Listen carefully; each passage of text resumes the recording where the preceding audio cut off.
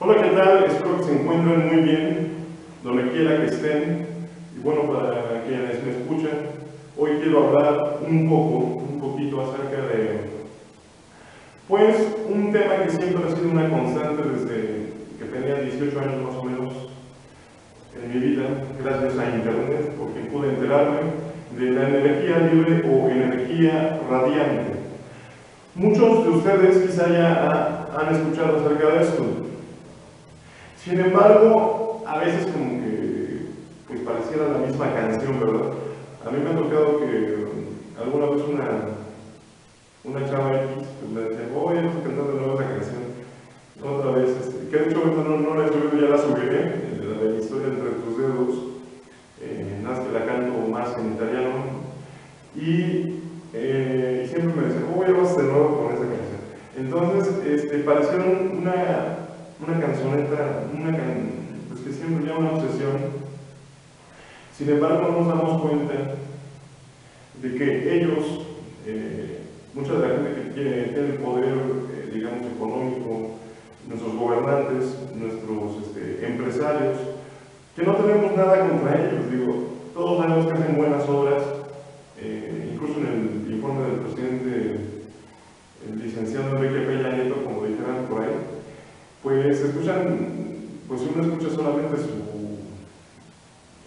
pues pareciera realmente algo maravilloso, pero sin embargo nuestras cifras que logramos buscar pues no cuadran en lo absoluto con, con todas las maravillas que nos quieren mostrar sus gobernantes.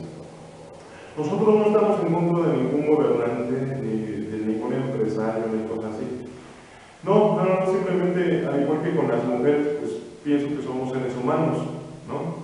Todos tenemos, este, también sentimos, también este, pensamos distinto y, pues somos seres humanos expuestos al error, no hay nadie perfecto, ¿no? Entonces, esos mismos gobernantes podrían hacer las cosas de forma distinta si se les permitiera. Muchas veces los, eh, el consenso de Washington o eh, el Banco Mundial, el Fondo Monetario Internacional, eh, no permiten esas políticas. Incluso hay un documental, Zeitgeist, donde mencionan los asesinos económicos. Ellos envían a su gente para convencer a los gobernantes, a nuestros gobernantes, y si nuestros gobernantes no aceptan, pues francamente saben que están muertos. Y es el que sigue y el que sigue. Y, y esto hay que mencionarlo, hay pocos héroes, pocos verdaderos héroes en nuestro sistema político, sobre todo en América Latina, que han quedado bajo el yugo, como Israel quedó bajo el yugo de Egipto, así también nosotros, Latinoamérica está enviando a su gente como, parece que no, pues esclavitud, una especie de esclavitud a los Estados Unidos. De hecho, la, función que tuvo Israel de, llevar la luz al mundo, de todo eso, ahora la tiene Latinoamérica, se ha prestado mucho ese conocimiento. Pero a lo que voy, está bien, este, si no aceptan, pues te matamos. Ese, ese es el, el, el, mensaje que se les da a los gobernantes.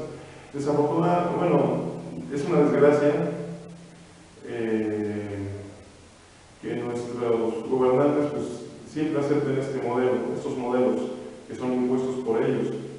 O sea, incluso aunque quisieran lograr distinto, pues quizás no los dejan, quizás no los dejarían.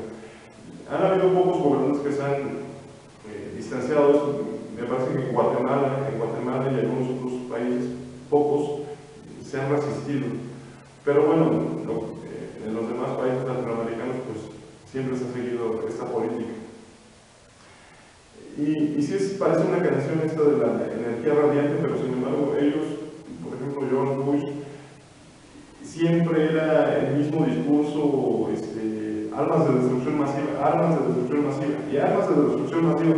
En todos los discursos eran esas dichosas armas de destrucción masiva que jamás encontraron, o sea, esas armas de destrucción masiva que ellos decían que había en Irak, barrieron todo eh, y no existieron. Estados Unidos ya ha perdido dos guerras en Vietnam y también en Irak, no han salido ilesos, realmente ya han perdido dos guerras y, y no han querido aceptar. Y eso de que ganaron supuestamente la Guerra Fría, como dijera Jalife, un este, político mexicano, pues está muy entre, entredicho. En realidad, por ejemplo, Rusia y China siempre han sido potencias, han sido potencias muy apartadas del mundo quizá, pero Este, incluso se sabe que pues, Rusia fingió su caída, ¿no? O sea, siempre han, tenido el, poder, han seguido en su, en su, en su imperio. Lo que pasa es que hay formas de, de luchar también, ¿no?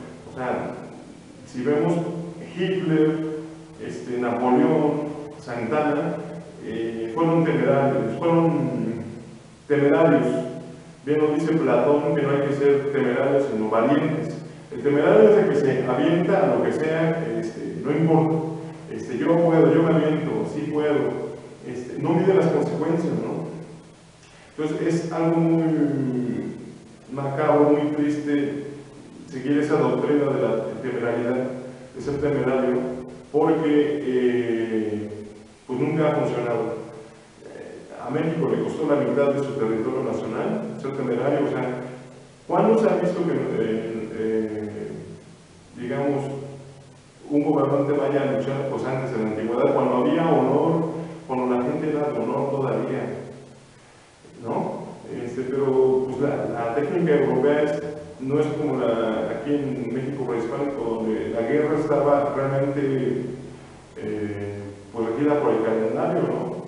Era como, o sea, estar fuera del calendario, incluso uno lo ve en los actos litúrgicos de la Iglesia Católica, pues van de acuerdo a un calendario, ¿no? Van a festejar Navidad en una fecha que no es Navidad.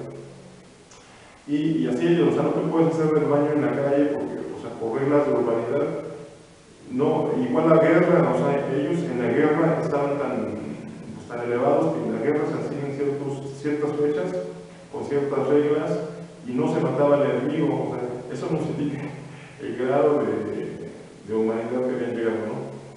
Pero bueno, entonces ese discurso de armas de destrucción, de, destrucción masiva, este, 11 de septiembre, de Torres Gemelas, bombardeadas, o sea, siempre repiten el mismo discurso y lo repiten un millón de veces. Entonces cuando lo repiten un millón de veces este discurso del petróleo, que vamos a luchar por el petróleo y solamente tenemos el petróleo, y desgraciadamente toda nuestra infraestructura en México está en base al petróleo. Jamás vamos a lograr una independencia económica si nosotros nos regimos por los esquemas de los Estados Unidos en base a los hidrocarburos, sea el petróleo, sea el gas. Por ejemplo, Jalife y todos los del PRD, bueno, por muy revolucionarios que, digan que son, no son revolucionarios si realmente solamente proponen el petróleo. ¿Y por qué entran al petróleo? Porque ahí está el dinero. No le entran al petróleo por ninguna otra razón. El petróleo ya lo controlan unas 10 o 15 familias y no lo van a soltar así, hagan marchas, así protesten, digan que son XXX. Pues no, ellos francamente ya es un modus vivendi y nosotros no los vamos a quitar de su modus vivendi. Y la única manera de quitarle su modus vivendi pues, es no comprando petróleo y gasolina y gas ¿sí? Quizá energía eléctrica es lo que más cercano que conocemos, ¿no?